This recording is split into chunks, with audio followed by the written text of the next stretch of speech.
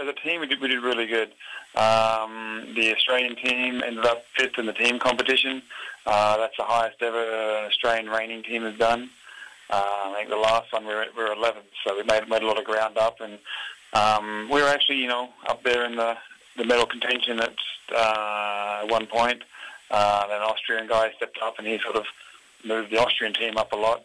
Um, so you know, we actually as a team did really good. Had a had a really good showing. Um, you know, he's not a big turner, um, and on the walking patterns, we walk in, turn around. Um, that can you know be a little hard. One of the judges don't always continue to mark him after turnarounds, but you know he slipped in that second turn. He he turned good both ways, but on his left turn when he shut off, he you know went to grab the ground to shut off. He shut off really square, and his back foot slipped, and it caused an overturn. That cost me a half point penalty to judge.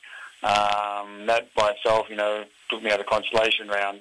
Um, but you know, he, he circled great to the left. He's he stopped good. Uh, got a little short in that last stop, which sort of hurt that last stop score a little bit. But um, you know, showing when you go show at this level and you know and run that hard, you know, some things come up sometimes, and that's just part of horse showing. It's funny, you know, we're all different teams, but I think that for anything, everybody respects everybody for being there, and in the different teams, there's a lot of camaraderie between the countries. Mm-hmm. And if anything, I think that's the reining community itself. I think gets closer together through the games. It's only competition in the show pen, basically. Outside the show pen, there's no competition to it. It's just all one big team.